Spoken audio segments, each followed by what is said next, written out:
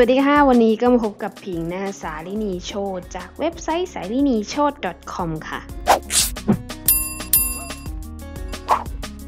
หากดูแล้วคิดว่ามีประโยชน์และอยากติดตามคลิปวิดีโอทุกสัปดาห์ ก็อย่าลืมกดติดตามและกดปุ่มกริ่ง เพื่อรับสัญญาณเตือนเมื่อมีคลิปวิดีโอใหม่จากผิงนะคะ วันนี้นะคะผิงจะมาสอนการทำภาพโปสเตอร์นะคะลักษณะนี้เลยนะคะก็ ก่อนอื่นนะคะคุณไปดาวน์โหลดไฟล์ก่อนนะคะที่เว็บไซต์ SalineeChot .com นะ EP ที่ 185 นั่นเองนะคะอ่าจากนั้นเนี่ยเมื่อดาวน์โหลดไฟล์มาแล้วคุณก็จะได้ประมาณนี้เลยนะคะก่อนอื่นคุณก็เอาไฟล์ตัวนี้เข้ามาก่อนนะคะไฟล์ตัวนี้เข้ามาเพราะว่าเป็นเป็น background ให้กับเรานั่นเองนะคะจากนั้นทำยังไงต่อ จากนั้นนะคะคุณก็ เอานางแบบเข้ามานะคะรูปนางแบบเข้ามาเลยอ่ารูปนางแบบ จากนั้นนะคะเดี๋ยวเราต้องตัดภาพกันก่อนนะคะก็ double click ที่ layer ขวามือกันก่อนเลยนะคะอ่า double click ให้มันปลดล็อก จากนั้นกดโอเค จากนั้นคุณไปเลือก Quick Selection นะคะแล้วคุณก็ ขยายบัตรนะคะบอยไม้หรือลอลิง แล้วคุณก็จิ้มเข้าไปที่นางแบบได้เลย จิ้มเข้าไปแบบนี้เลยนะคะประมาณนี้ประมาณนี้เห็นไหมคะจิ้มเข้าไป ย่อขนาดบัตรบอยไม้หรือลอลิงนะคะจิ้มเข้าไปที่มือให้มันครอบให้ครบ จากนั้นให้เพื่อนๆนะคะเลือก select select and mask หรือบางเครื่องอาจจะขึ้นว่า refine age นะก็คลิกได้เหมือนกัน จากนั้นเมื่อคลิกแล้วมันจะเป็นลักษณะแบบนี้นะคะจากนั้นขยายบัตรนะคะบอยไม้หรือลอลิง แล้วคุณก็บัตรเข้าไปที่ผม บัตรเข้าไปที่ผมก่อนเลยนะคะอ่าประมาณนี้ประมาณนี้ เมื่อได้แล้วนะคะก็ให้เพื่อนๆดูขวามือค่ะ ให้หาคำว่า output to ให้เปลี่ยนเป็น new layer จากนั้นกดโอเคเมื่อ new layer แล้วเห็นไหมคะมันก็จะเป็น new layer แบบนี้เลย จากนั้นทำไงต่อเราก็ไปเลือกเมนู เครื่องมือเพนทูนะคะแล้วคุณก็เอามาตัดรายละเอียดเล็กๆน้อยๆนะคะมาจิ้มแบบนี้เนี่ยค่ะคือเราต้องเก็บรายละเอียดนะคะในส่วนไหนที่มัน เป็นส่วนเกินเราก็ลากบรรจบกันคลิก selection ใส่เลขหนึ่งโอเค แล้วก็ delete ได้เลยนะคะแล้วตรงส่วนนี้ก็เหมือนกันนะคะก็ค่อยๆทำไปแล้วกันเนาะ จิ้ม select selection enter แล้วก็ delete นะคะจิ้มเหมือนกัน แบบนี้เลยนะคะ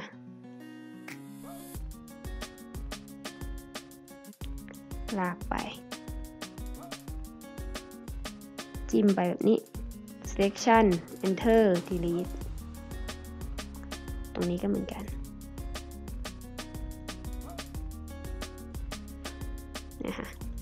บรรจบ จึกเข้าไป จึก selection enter แล้วก็ delete เท่านี้เองนะคะตรงขานี่ก็เก็บรายละเอียดออก selection enter delete นะเท่านี้เอง จากนั้นนะคะเมื่อได้แบบนี้แล้วคุณก็ดึงเข้ามาในภาพเลยค่ะ จะเห็นได้ว่ามันใหญ่มากคลิกที่มุมกดชิปกดปุ่มอย่อนะฮะ คลิกที่มุมกดชิปกดปุ่มออย่อเราเอาประมาณนี้ก่อนนะคะ จากนั้นก็ติ๊กถูกไว้เลยค่ะ อ่า จากนั้นฮะอันนี้ไม่ใช้แล้วก็การทิ้งได้เลยนะ จากนั้นก็ไปเอารถจิ๊บเข้ามาตัวนี้เลยดึงมาเลยนะคะ อ่า ดึงมาเลย ดึงมาใส่เลย ถ้าใหญ่ ถ้าใหญ่ใช่ไหมคะ คลิกที่มุมกดชิปกดปุ่มอย่อแล้วดึงไว้ ประมาณนี้ ติ๊กถูกแล้วดึงไว้ข้างหลังผู้หญิง เออ ประมาณนี้เลยนะคะ จากนั้นทำยังไงต่อนะคะก็เดี๋ยวนะ รู้สึกว่าผู้หญิงจะใหญ่กว่ารถมากนะคะคลิกที่มุมกดชิปกดปุ่มอย่อผู้หญิงก่อนนะคะเดี๋ยวมันจะสูงเกินรถตลกไงติ๊กถูกจากนั้นนะคะรถเนี่ยเดี๋ยวเราต้องใส่เงาให้เขาก่อนกดคอนโทรลเจนะคะแล้วก็ใส่เงาสีดำไปที่ fx แล้วก็ color overlay นะคะจากนั้นเลือกเป็นสีดำกดโอเค แล้วคุณก็ลากมุมบน จิ้มที่มุมบนมุมบนก่อนนะคะ กดคอนโทรลค้างไว้แล้วก็ง้างมันลงมาเลย เออประมาณนี้นะคะแล้วก็คุณก็ปรับมุมให้มันเข้ากัน จากนั้นดึงไว้ข้างหลังสุดนะคะดึงไว้ข้างหลังสุด จากนั้นคุณก็ดึงที่มุมนี้จิ้มเสร็จปุ๊บก็ดึงที่มุมกด Control ค้างไว้ด้วย มันจะได้แบบแบบแบบประมาณนี้นะคะจากนั้นทุกสัปดาห์ก็อย่าลืมกดติดตาม และกดปุ่มกริ่ง เพื่อรับสัญญาณเตือนเมื่อมีคลิปวิดีโอใหม่จากผิงนะคะก็ปรับ opacity ลดลดมันมานิดนึง จากนั้นเนี่ยเงาเนี่ยมันต้อง blur หน่อยนะคะ เพราะนี้เงามันแข็งไปที่ Filter Blurไปที่การเส้นเบลอนะคะ ก็จะเอาประมาณนี้ก็ได้เลยนะคะ10 แล้วกดโอเค จากนั้นคุณก็แมสเมื่อแมสปุ๊บใช่ไหมคะ คุณก็เอา Guardian Tool เนี่ยมาดึงนี้ได้เลยค่ะเออมันก็จะได้แบบเป็นเงาเงาใช่ไหมแล้วตรงไหนที่มันควรจะเป็นเงาหรือคุณก็ New Layer ขึ้นมาอีกอันหนึ่งแล้วคุณก็ไปเลือก brush นะคะไปเลือกหัวแปรงฟุ้งๆ แล้วก็ปรับ opacity กับโฟให้เท่ากับผิง และอย่าลืมเปลี่ยนตรงนี้เป็นสีดำนะคะจากนั้นก็ย่อขนาดปัดบอใบไม้หรือลอลิงนะคะกดจิ้มเข้าไปเลยนี่ยค่ะเงาตรงพื้นตรงนี้มันควรจะมันควรจะแบบมืดๆเราก็จิ้มเข้าไปแบบนี้เลยนะคะจากนั้นครูเห็นลูกล้อรถไหมมันคือมันตัดไม่เนียน เราก็ต้องมาจิ้มเอาเพนทูเนี่ยค่ะค่อยๆจิ้ม แล้วก็ลากมันจบกัน section ใส่เลขหนึ่งกดโอเคแล้วก็เลือกลดจิ๊บแล้วก็ delete เท่านี้เอง นะคะมันก็จะได้เนียนอ่าเมื่อได้ประมาณนี้แล้วนะคะ เราก็เอาต้นไม้ต้นหญ้าอะไรเข้ามาใส่เนี่ยค่ะคือต้นนี้คุณก็ดึงเข้ามาเลยอ่าดึงเข้ามา ตัวนี้ก็ดึงเข้ามาใส่ ดึงเข้ามาใส่คลิกที่มุมกดชิปกดปุ่มอย่อนะคะดึงมาข้างหลัง ติ๊กถูกแล้วดึงมาข้างหลังสุดเท่านี้เองนะคะอ่าเท่านี้เองนะคะ จากนั้นยังไงต่อนะคะ อันนี้ไม่ใช้กากาออก อันไหนไม่ใช้กากาออกนะคะ จากนั้นเนี่ยผิงจะเอาหญ้าที่มันแบบ เอ้ยไม่ใช่หญ้าเขาเรียกว่าอะไรเนี่ยเนี่ยพื้นดินแตกเอามาใส่ ดึงเข้ามาเลยค่ะ อ่าดึงเข้ามาแบบนี้นะคะ แล้วก็กดคลิกที่มุมนะคะ แล้วกดคอนโทรลค้างไว้แล้วก็ง้างขึ้น แบบนี้ค่ะง้างล้างลงจากนั้นติ๊กถูก จากนั้นเดี๋ยวพิงขอดูก่อนพิงใช้เป็นโหมดอะไรแป๊บนึงนะคะ พิงใช้ hard light ตัวนี้ค่ะ ดึงไว้ข้างหลังสุดแล้วเปลี่ยนเป็น hard light อ่าแล้วก็ปรับ opacity ลงมานะคะ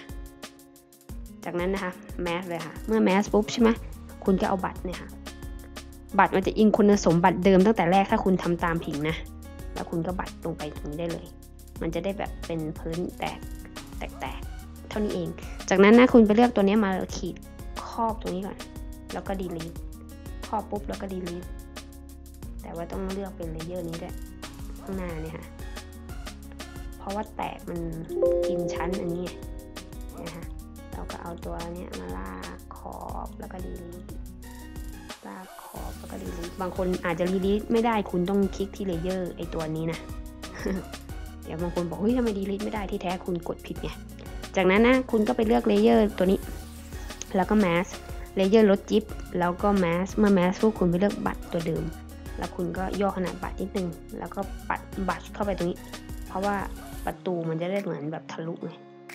เออกระจกมันจะได้แบบทะลุมองเห็นข้างหลังหน่อย เท่านี้เองนะคะเสร็จเรียบร้อย หรือว่าคุณอยากจะใส่สีเพิ่มเติมก็ได้นะ สีทั้งภาพนะคะก็วิธีการใส่ก็ไปที่ตรงนี้ค่ะวงกลมแล้วก็ อยู่ไหนอะ color balance นะคะแล้วคุณก็ปรับสีทั้งภาพได้เลยเนี่ยค่ะแล้วแต่คุณคุณจะเอาประมาณไหนของพิงชอบประมาณนี้พิงก็เอาประมาณนี้เลยนะคะโอเคสำหรับวันนี้ก็เสร็จเรียบร้อยแล้ว แต่ตรงข้างหลังถ้าใครลบไม่เนียนก็ต้องลบให้มันเนียนๆนะอ่าประมาณนี้เลย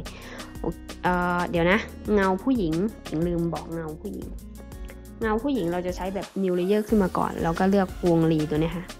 แล้วก็บัดเข้ามาตรงนี้แบบนี้จากนั้นก็ไปที่ filter blur ไปที่ Gaussian blur แล้วก็ convert to smart object นะคะแล้วก็ปรับมันลงมาประมาณนี้หน่อยพิงเอาประมาณนี้ 9.8 กดโอเคนะคะแล้วก็ดึงไว้ข้างหลังผู้หญิงนะคะแล้วก็ดึงเข้าไปใต้ล่างเท้าแกแบบนี้นะคะแล้วคุณอาจจะปรับ opacity ลงมาหน่อยเออเงาเวลาเธอยืนเนี่ยก็จะประมาณนี้เลย หรือคุณต้องการอ่อนกว่านี้ก็ได้นะเงาอะนะคะตัวเนี้ยค่ะ ดึงมาประมาณนี้ก็ได้เนี่ยค่ะเห็นนะ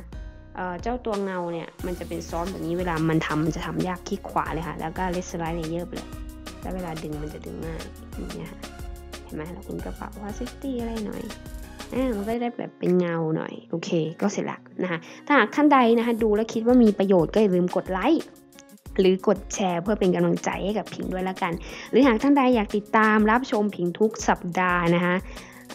ก็อย่าลืมกด subscribe หรือกดติดตามที่ช่องผิงด้วยแล้วกัน แต่ถ้าไม่อยากแบบพลาดสักตอนก็อย่าลืมกดกริ่ง เพื่อรับสัญญาณเตือนเมื่อมีคลิปวิดีโอใหม่จากผิงสำหรับวันนี้ก็ต้องขอตัวลาไปก่อนนะทำทุกงานให้สนุก และคุณจะไม่หยุดพัฒนาเจอกันใหม่ในคลิปวิดีโอหน้าสำหรับวันนี้ลาไปก่อนสวัสดีค่ะ ทุกสัปดาห์ก็อย่าลืมกดติดตามและกดปุ่มกริ่ง เพื่อรับสัญญาณเตือนเมื่อมีคลิปวิดีโอใหม่จากผิงนะคะ